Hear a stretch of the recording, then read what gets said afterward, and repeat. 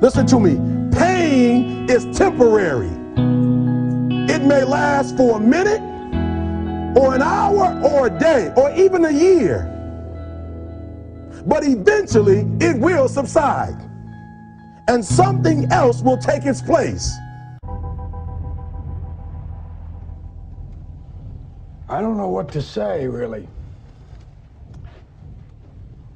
Three minutes to the biggest battle of our professional lives. All comes down to today.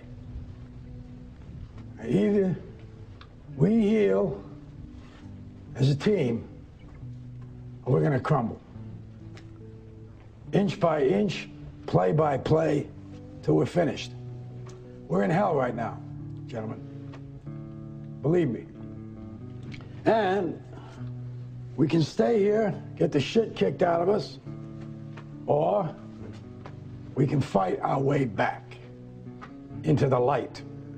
We can climb out of hell.